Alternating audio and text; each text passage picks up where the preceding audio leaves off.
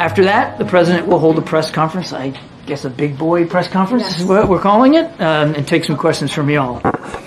What? Bro, what are you talking about, man? President Biden will speak to national labor leaders of AFL-CIO, host the NATO summit to show the unprecedented.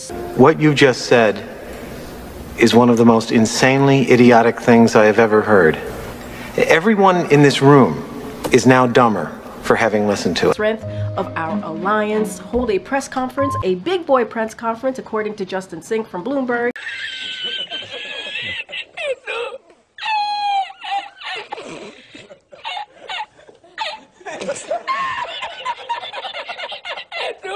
a big boy press conference. It's a big boy press conference.